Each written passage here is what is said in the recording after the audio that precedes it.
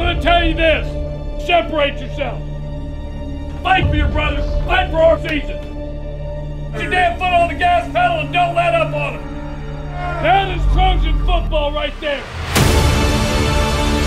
Brother, I am ready to go to war with you. I got your back.